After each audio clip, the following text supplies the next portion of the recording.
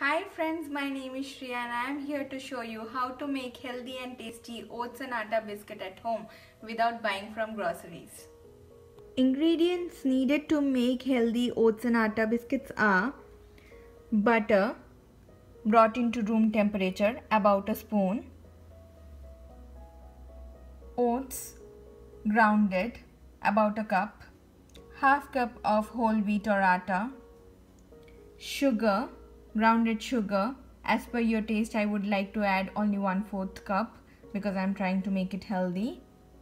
Olive oil about quarter cup. Sea salt you can use any regular salt. Kalonji which is also known as onion seeds.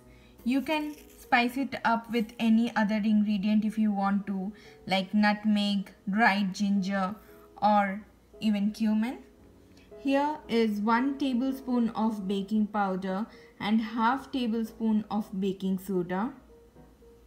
Milk optional if you need to bind the dough. So let's begin. First we have to whisk out the room temperature butter with sugar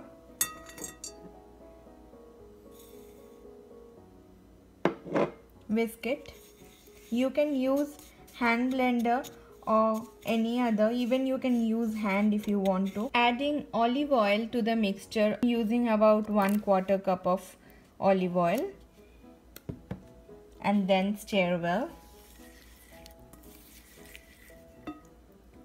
The main motto is to blend your sugar and butter so that you don't have any of the crystals of sugar and blend it. As you can see the butter the olive oil and the sugar has mixed up well.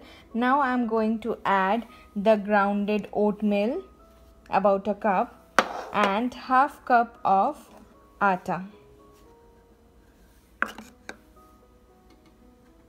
The baking soda and the baking powder. The sea salt about a tablespoon like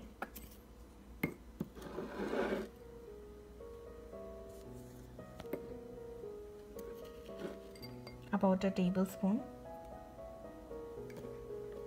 The kalonji or the onion seeds.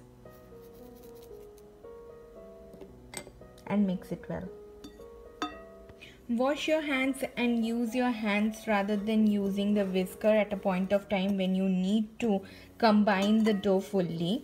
If your dough is very tight and it is not combining with whatever the butter and the olive oil you have used, use 2 to 3 tablespoon of milk which I've kept aside. You can use skimmed milk or whole milk. So mix the dough well and try to make the dough attached like a ball there like the normal chapati or the roti dough has. So as you can see my dough is ready. I would suggest you to keep on rest for about 10 to 15 minutes. I usually suggest whenever you prepare roti because if you rest the ingredient which you have added inside the dough that gets activated that gets time to activate inside the dough and works really well so i would suggest to give leave it for about 10 to 15 minutes now either you can take the dough and roll it out fully and cut with your cutters or which I prefer is just to take out a little pieces like we make Indian pedas. You can make pedas and make circles out of it and lay out in the baking sheet and then bake. As you can see I have laid foil on my baking rack and placed those small balls and now I have pre preheated my oven for 375 degree Fahrenheit. Biscuits in the oven